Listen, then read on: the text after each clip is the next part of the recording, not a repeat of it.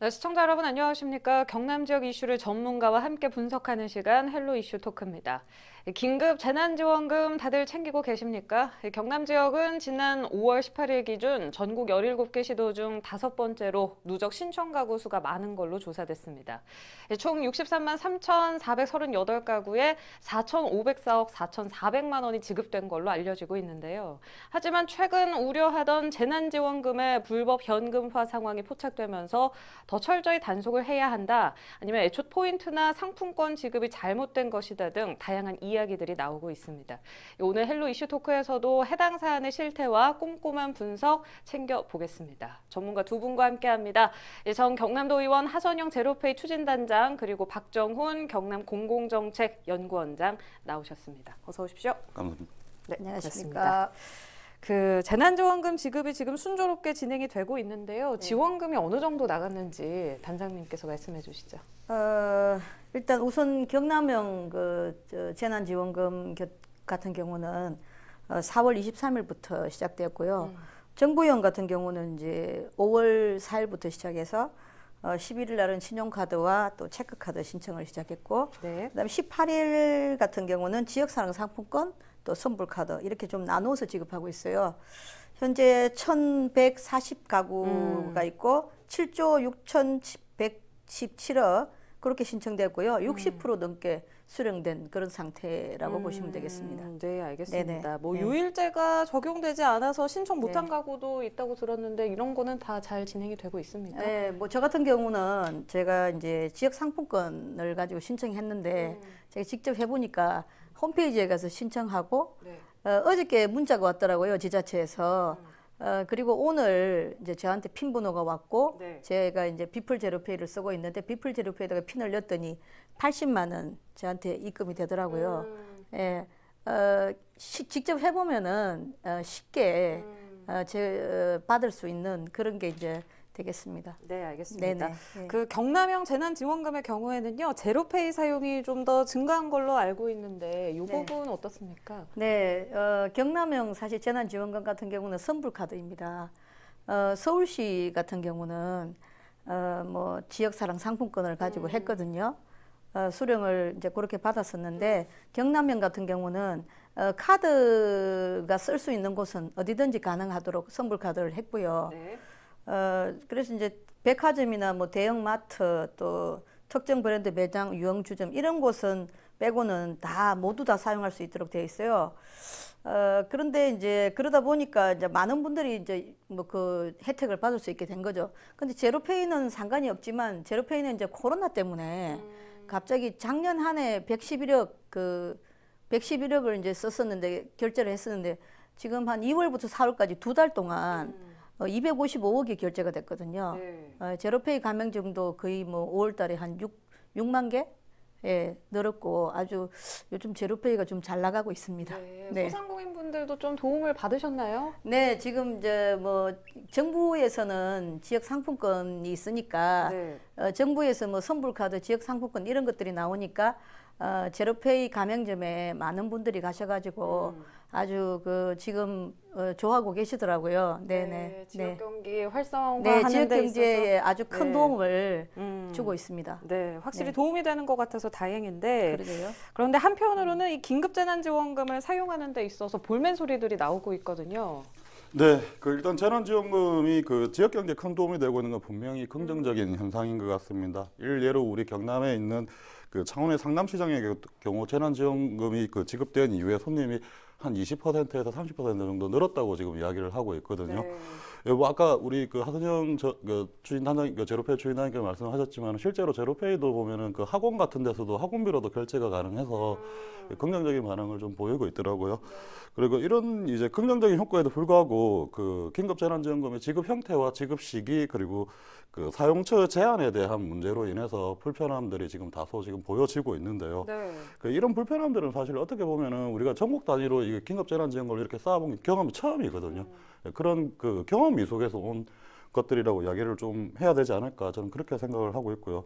그래서 이번 경험을 통해 가지고 그, 그 이번 경험을 소중하게 잘 새겨서 다음에 뭐 다시 이런 일이 없어야 되겠지만 네. 혹시나 또 뭐 추가 이게 추가로 이런 일이 발생을 한다면 그 조금 이 좀 보완을 해서 더 발전하는 행정이 되었으면 하는 그런 마음을 가지고 있고요. 네. 그 아무래도 이제 현금 지급이 아니다 보니까 그 용도에 제한적일 수밖에 없는 것 같습니다. 그 아무래도 이제 우리가 이제 특히 필수 세- 그러니까 생활 필수 영역이라고 할 수 있는 통신료나 교통비라든지 그리고 월세 같은 것들을 지금 납부할 수 없는 상황이다 보니까 뭐, 뭐 현금화하는 현상들이 지금 일부 보여지고 있거든요. 그리고 이제 교통의 발달로 인해서 어, 살기는 이 거주지는 이제 경남에 거주를 하지만 실제로 부산이나 울산으로 직장을 다니시는 분들이 계시거든요. 그 우리 김해라든지 그리고 양산이라든지 뭐 요, 요런 그 진해 일부 지역 같은 경우는 그쪽으로 출근을 하시지 않습니까? 그러다 보니까 이제 광역 단체 내에서만 거주하는 광역 단체 내에서만 사용을 하게끔 만들어 놓다 보니까 이런 문제들이 조금 발생을 한 것 같습니다. 네, 현금 지급이 아니다 보니까 뭐 사용처 관련해서도 여러 가지 좀 불편한 점이 있다 이런 부분이 많이 이야기 나오고 있는데요. 하지만 애초 현금이 아니라 카드 포인트 그리고 지역 화폐로 지급을 하게 된 이유가 있지 않습니까? 음, 정부의 입장일 경우에는 아마 이제 일본을 좀 비유를 좀 하자면 일본이 예전에 이제 이런 그 긴급한 상황이 왔을 때 현금으로 국민들한테 이렇게 돈을 풀었다고 합니다. 그런데 어, 위기 상황에서는 누구나 그 돈을 은행에다가 넣는답니다. 특히 이제 일본 같은 경우는 더 그랬겠죠. 그러다 보니 그 돈을 푸는 것이 소비로 이렇게 만들어져야 되는데 이어지지 않기 때문에 그 문제가 제일 컸기 때문에 아마도 현금보다는 뭐 선불 카드나 이런 뭐 지역 상품권이나 카드나 이런 것들을 통해서 골고루 그래도 나름대로는 정말 대형 뭐 대형 백화점 뭐 또 대형 마트 빼놓고는 거의 다 예를 들어서 노래 주점 이런 데 빼놓고는 거의 다 이렇게 쓸 수 있도록 했으니까 제가 봤을 때는 어, 불만들이 오히려 많이 없지 않을까 이런 생각이 들 정도입니다. 예. 현금보다 이렇게 카드 포인트 뭐 지역 화폐로 지급을 했을 때 행정 부분에 있어서도 관리가 좀 더 용이한 면이 있습니까? 어떻습니까? 글쎄요 행동 행정 행정 예. 아 행정적으로 아무래도 이제 신용카드 같은 경우는 어, 어떻게 썼는지 음, 어디에 썼는지 이런 것들이 다 구체적으로 나오고요. 네. 또 모바일 상품권 같은 경우도 어, 또 지류도 마찬가지일 것입니다. 그, 어, 어떻게 쓰고 얼마만큼 쓰여졌는지 그런 것들을 파악하기가 쉽기 때문에 음, 어, 현금보다는 네. 우리가 그 돈을 갖다가 이만큼 제공했을 때 음. 어, 국민들이 어떻게 사용했는지가 다 파악될 수 있기 때문에 음. 아마도 그런 부분에 있어서는 좀 더 투명한 그런 네. 시스템으로 만들어지지 않았을까 보는데요. 음, 네, 네네. 알겠습니다. 네. 최대한 어쨌든 부작용을 없애기 위해서 이 방법을 고려한 걸로 보이는데요. 네네네. 그 문제가 또 발생을 했습니다. 네. 이 재난지원금이 일명 카드깡 그러니까 현금화가 돼서 위법 사항들이 생기고 있다고 하는데요. 뭐 박 원장께서도 들으신 바 있으실 것 네, 같은데. 뭐 안타깝게도 이제 좀 그런 이야기들이 들려오고 있는 게 사실입니다. 사실 그 이번 그 행정의 입장에서 그 상품권이나 치료 상품권이나 이제 카드 포인트를 선택한 이유는 정책의 그, 그 효과성을 검증하기 위해서일 거고요. 그리고 또 향후 정책 수립하기 위해 계획을 대비하기 위한 방법으로 저는 보여지거든요. 그래 무조건 나쁘다고 비난을 할- 할 수는 없을 것 같습니다. 근데 이제 한 신문에 보면은 그 한 신문사에서 그 조동건 명지대학교 경제학과 교수가 이런 말을 했습니다. 그 정부가 사용 업종을 제한하면서 불법에 가까운 상황이 등장하기 시작했고, 어 그리고 미국에서 어, 미국에서는 그, 그 술, 담배 같은 최소한의 업종을 제, 그 제외한 나머지 업종을 자유롭게 사용할 수 있게 만들었었다라고. 그래서 그 이- 일부 정부의 책임을 묻고 있는 지금 전문가들은 그런 이야기들을 좀 많이 하고 있거든요. 사실 그 이번 재난지원금을 지급하기 전에 이런 문제들이 예상이 되었었고. 그리고 또 여러 전문가들이 현금 지급을 요구한 사례도 사실은 뭐 물론 저도 이 자리에 나와가지고 이슈토크에서 현금 지급을 요, 그 요구했던 적이 아마 있었을 것 같고요. 일단 상품권이나 선불카드를 현금화하는 방식이 너무 다양해서 제가 사실 많이 놀랐습니다. 예, 뭐 나중에 한 번 더 언급을 하겠지만 그 보험을 이용한 방식까지 지금 나와 있어가지고 그 자칫 잘못하면 범죄성을 띈 범죄로 이어지지 않을까 그런 우려도 지금 되고요. 뭐 간단하게 뭐 물건을 사서 대파는 형태부터 시작을 해서 상품권 자체를 거래하는 방식도 있고요. 그리고 모임이나 공적인 자금을 대신 결제하는 대지급 형태 형태도 지금 나오고 있거든요. 그 뭐 사실 뭐 아니면 일부 상점과 결탁을 해서 결제를 하고 수수료 명목으로 얼마를 주고 자기의 현금으로 돌려받는 뭐 이런 형태도 지금 그 열거하기 힘들 정도로 지금 인터넷에 너무 많은 방법들이 지금 올라오고 있는 중이어서 조금 우려가 되는 상황입니다. 네, SNS에서 상세하게 그 방법들이 올라와 있다고 네. 하니까 저는 예, 충격을 좀 받았는데 박 원장께서도 말씀하셨지만 이 특히 실손보험을 악용해서 현금화하는 사례도 있다고 하지 않으셨습니까? 예, 그 지금 SNS나 인터넷에 보면은 그 쉽게 이제 말 이제 그 쉽게 말해서 건강보험 비급여 항목을 선택을 해서 그 치료를 받고 그, 그, 그 보험, 아, 보험료를 이제 제, 재난지원금으로 결제를 한 이후에 보험을 청구해서 현금으로 돌려받는 방식인데 이게 뭐 한 20만 원 정도 결제를 하면 18만 원 정도로 다시 돌려받을 수 있다고 이야기를 하더라고요. 네. 예, 그래서 실손으로 뭐 대략 그런데 이런 방식이 그 보험사의 부실을 초래하고 있는 요인이 되기도 하지만은 대부분의 선량한 보험 고객들에게 큰 피해가 될 수도 있다는 점을 조금 어, 인지를 해야 될 것 같고요. 그리고 이제 병원이나 이 사용을 하는 우리 어, 시민들이나 국민들 입장에서도 이게, 범죄가 될 수 있다라는 그런 점들을 조금 인식을 하셔야 될 것 같습니다. 네, 선악의 목적 그에 맞게 사용하시는 분들이 더 많은데 이런 분들 때문에 조금 더 예, 안타깝지 않나 싶습니다. 정부와 행정이 원했던 방향과는 조금 다르게 가는 네, 모습이어서 네, 네, 네. 공기관에서 봤을 때 상당히 당혹스러울 것 같은데요. 네, 어떠셨습니까? 뭐, 뭐 상당히는 아니고 약간의 뭐 그런 것들을 예상은 예상은 하셨겠죠. 음. 예. 근데 언론에서 뭐 본 기사 제목이던데 뭐 우리는 이미 알았다. 깡이 반칠줄 뭐 이런 식으로 네. 아, 너무 자극적으로 이렇게 걸 보고 저도 많이 웃었습니다. 왜냐하면 이제 어, 어, 이런 게 있다고 그래요. 저 경제학에 체리 피킹 뭐 이래 가지고 케이크에 체리가 놓여져 있으면 케이크는 잘 안 먹고 체리만 이렇게 먹고 만다든가 이런 어떤 어, 물건을 사지 않으면서 선물만 가져간다든가 이런 식의 경제학 용어가 있다는 것은 그만큼 이 인간이 가진 어떤 뭐 속성, 예, 그런 것들을 이제 뭐 인간의 심리상 분명히 있을 수 있는 그런 이야기들이라고 좀 아무리 뭐 우리가 완벽하게 뭔가를 정책을 만든다 하더라도 그런 약간의 그런 어떤 문제점들은 생길 수 있지 않을까요? 어쨌든 지역사랑 상품권 같은 경우 제가 이제 지- 어, 제로페이 추진단장을 맡아서 일하고 있기 때문에 이 국민들의 인식이 점점 높아져 가는 것 같습니다. 상품권에 대한 국민의 인식이. 또 거기다가 뭐 이번처럼 복지수당이나 또이 재난지원금 같은 정책 자금으로도 또 같이 연계하고 이제 이러다 보니까요. 어, 제일 중요한 것은 이제 지역 내의 소상공인들을 살려서 지역 경제를 활성화시키겠다는 그런 중요한 어- 어떤 의도가 있기 때문에 이런 점에서 이런 일들이 좀더 좋은 쪽으로 확대했으면 좋겠다. 어, 라는 그런 말씀을 좀 드리고 싶습니다. 네. 네. 이게 명백한 범죄인데 온라인상에서 너무 버젓이 있기 네, 때문에 네. 나도 해볼까 혹하는 분들이 있을 수 있는데요. 글쎄요. 이게 정말 위법 사항이기 때문에 당연히 처벌이 뒤따르거든요. 네. 이제 처벌 수위가 어떻게 되는지 말씀 좀 해주세요. 예, 분명히 이제 말씀드리지만 어, 긴급 재난지원금 어, 현금화는 불법입니다. 네. 네. 에, 그래서 지금 뭐 여러 가지가 나왔던데 음. 현재는 어, 현금화 현금화 할 때 보조금 관리에 관한 법률에 따라서 네. 뭐 전부나 혹은 일부를 환수해 가지고 하기도 하고요. 어, 또 7월 2일부터는 지역사랑 상품권 관련 이 법률이 있습니다. 음. 그게 7월 1일부터 시작되는 건데 이게 가맹점이 좀 잘못하는 부분이 있거나 또 가맹점이 아니면서 환전 대행을 하거나 할 경우에 어, 2천만 원 이하의 과태료를 부과하게 돼 있어요. 그래서 부정 행위자를 신고하거나 고발하면 또 포상금을 지급하거나 해서 이 문제를 건절하려는 노력들을 지금 행자부가 벌여나가고 있습니다. 음, 네, 알겠습니다. 예, 예. 명백하게 여러분 예, 예. 불법입니다. 네. 절대 악용하시면 안 장난치면 됩니다. 안 됩니다. 네, 네. 절대 네 금물입니다. 예, 이렇게 예.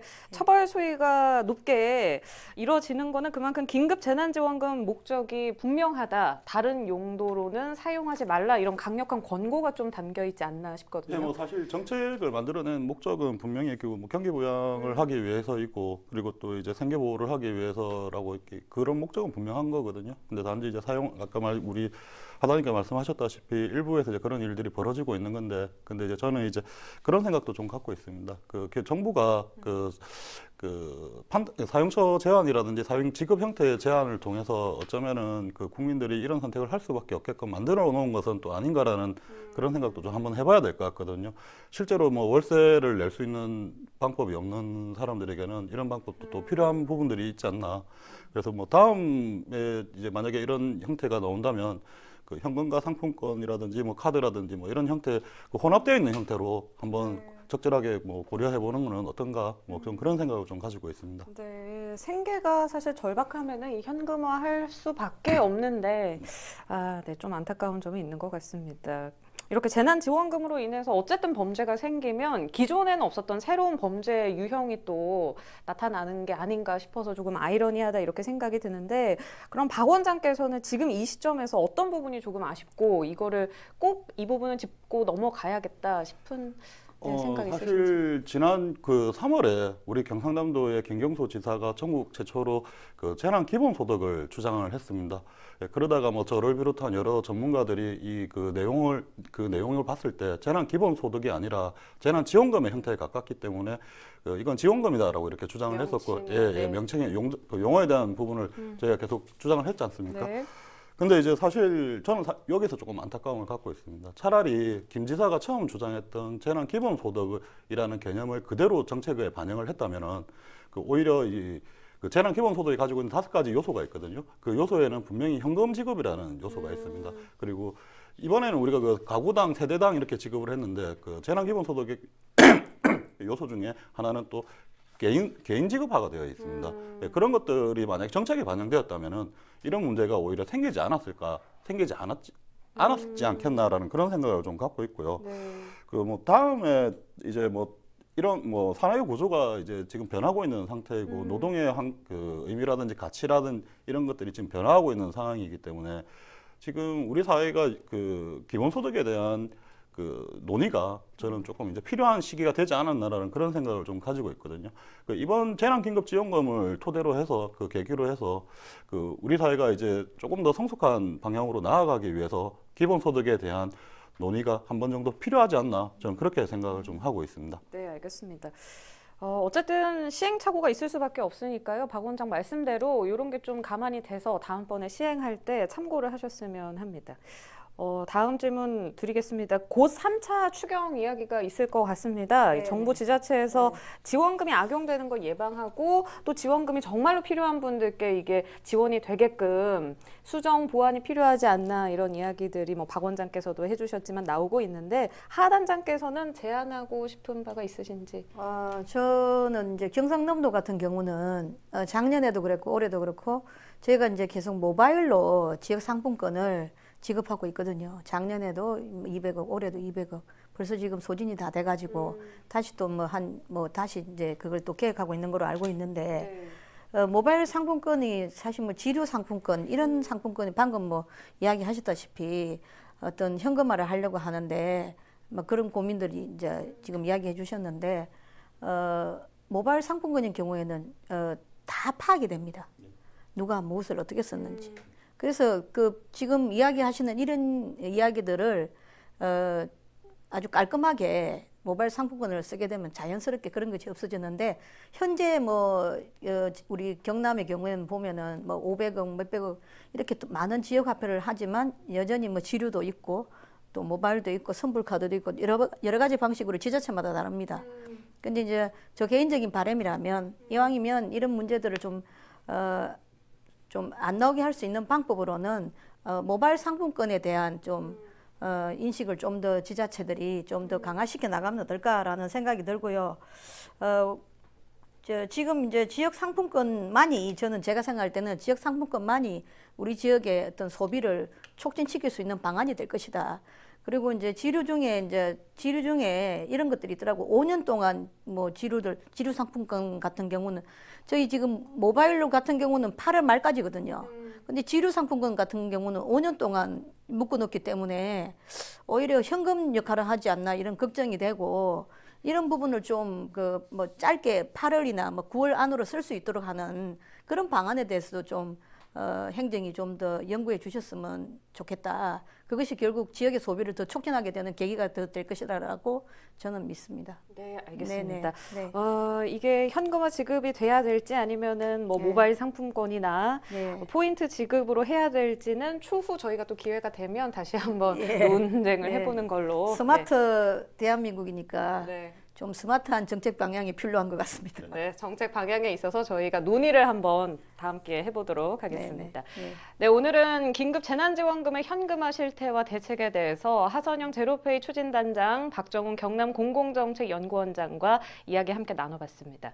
네, 코로나19로 모든 게 처음입니다. 많은 시행착오와 그리고 대책들이 나오고 있는데요. 무작정 비난하기보다는 슬기로운 비판이 필요한 시기겠죠. 이 지자체와 도민의 냉정한 판단 그리고 합리적인 도출이 있길 기대해 보겠습니다. 헬로 이슈 토크 여기까지입니다. 유튜브 채널 헬로 경남 통해서 오늘 방송 다시 보실 수 있습니다. 시청해주신 여러분 고맙습니다.